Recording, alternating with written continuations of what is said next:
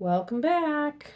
So, two books ago, I mentioned that in our family we lost somebody really special that we loved. And so I read two books kind of about um, the sadness we feel when we lose somebody. But today's book is more about the joy we can feel because for those of us who have accepted Jesus into our hearts, we get to go to heaven and we get to see the people who have passed on again. So when I was a kid, I was really afraid of heaven and dying, and it wasn't until the last 10 years or so that I am no longer afraid. And so for me, my dad is no longer here, and the person who we lost was my mother in law, but I know one day I am going to get to see them in heaven for this awesome, super, fantastic forever party. So here we go with a new book The Awesome, Super Fantastic Forever Party. This is a true story about heaven, Jesus, and the best invitation of all. Written by Joni Eareckson Tada, illustrated by Catalina Echeverry. Oh boy, I'm sure I got those wrong.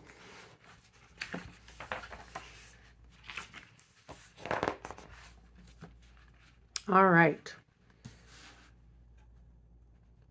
Have you ever received an invitation to a birthday party?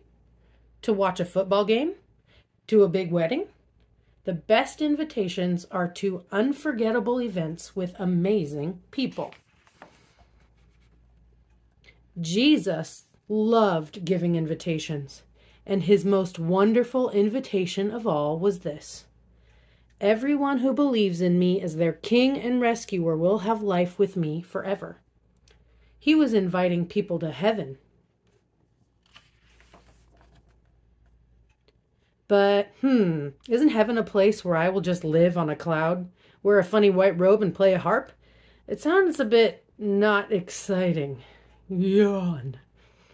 But then, some people say heaven is a place where I could dive with dolphins, ride the biggest water slide in all the universe, and eat all the chocolate chip pancakes I want. That would be great for a few years. But then what? Do I really want to eat chocolate chip pancakes all day and end up with a stomach ache forever?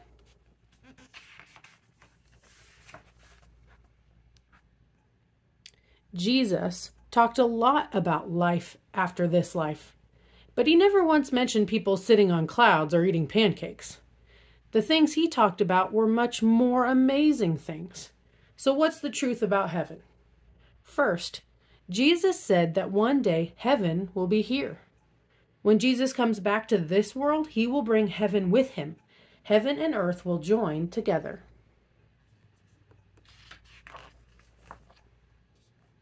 Which means that the world will be perfect. What's your favorite place in the world? In the new earth, it'll be even better. Nothing will get broken or go wrong. You'll get to do amazing things.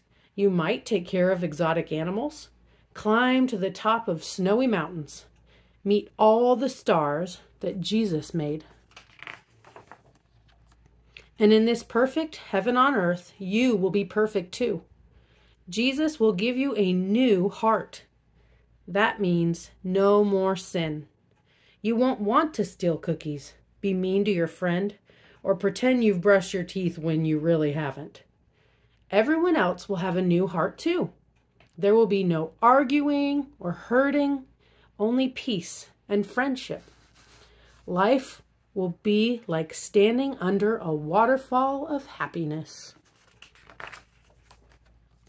And Jesus will give you a new body. It will be shining and splendorous, and you'll run faster and be stronger than you thought possible. Blind people will see, lame people will dance, deaf people will hear, and people whose minds sometimes struggle will enjoy minds that work just right all the time. And on this new earth, with our new hearts and new bodies, we'll get to live in a new city, the New Jerusalem, a sparkling city where Jesus has prepared a home just for you. Wow. And we haven't even got to the best thing about the place we're invited to. The best thing will be Jesus. Jesus is the all time undisputed Lord and champion. He will rule with kindness and wisdom, and everyone will bow down and hap- happily shout, Jesus deserves to rule as king.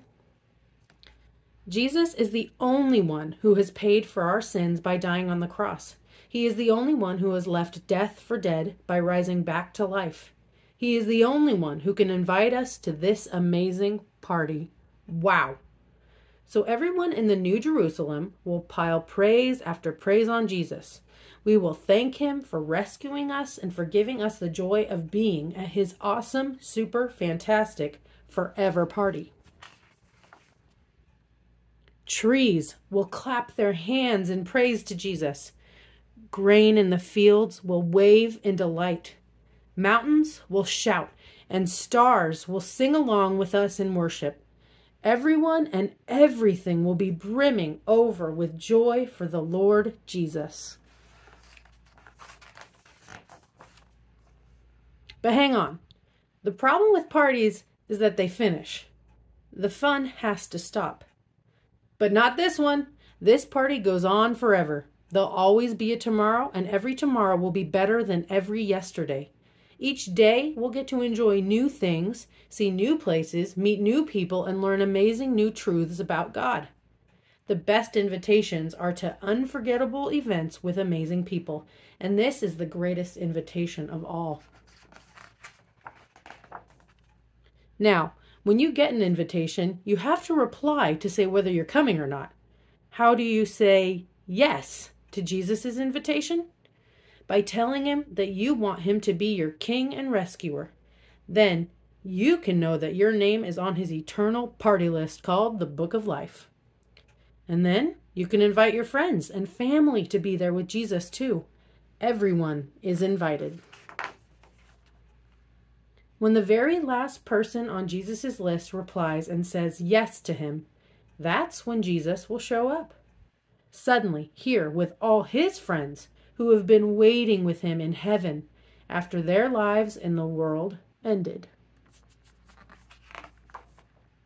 And then everything will change, and all Jesus' friends will be together, and the eternal party will start. And so there's one more thing we can do as we look forward to having new hearts and new bodies in the new heaven on earth with Jesus forever. We can send our own invitation to Jesus. It's an invitation that is on the last page of the last chapter of the last book of the Bible, Revelation. It's there three times. It must be important. So let's say it together. Please come quickly, Jesus. The end.